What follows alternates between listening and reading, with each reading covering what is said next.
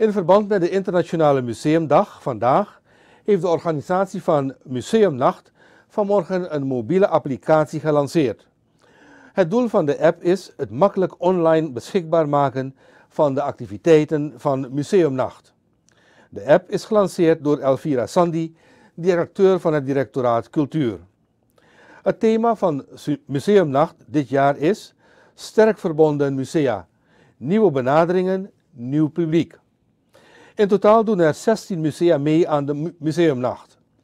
Voor een goede app-ervaring zullen drie van de locaties door Telezuur voorzien worden van tijdelijke wifi hotspots.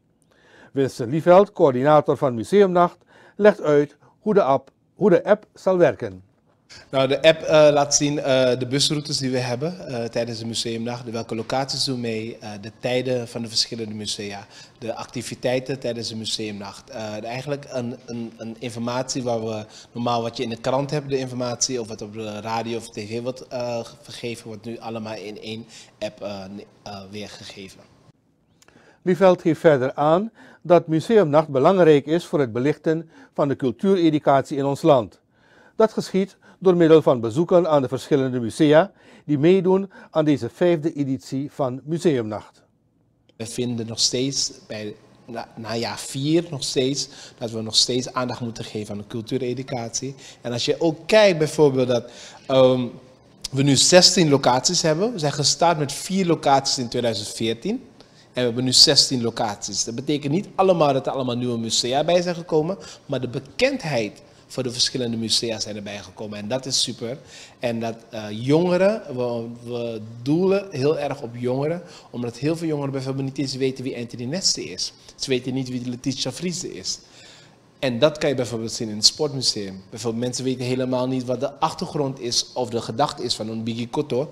Waarom vrouwen een Biggie Kotto vroeger aandeden.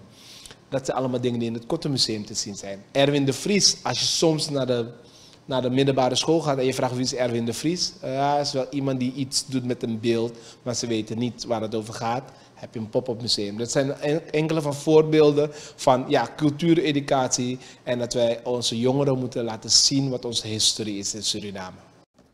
Winston Lieveld, coördinator van Museumnacht 2018.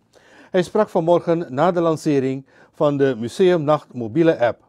Deze app is bedoeld voor het makkelijk opzoeken van de informatie over locaties en routes van de verschillende musea. De vijfde editie van Museumnacht begint op 26 mei.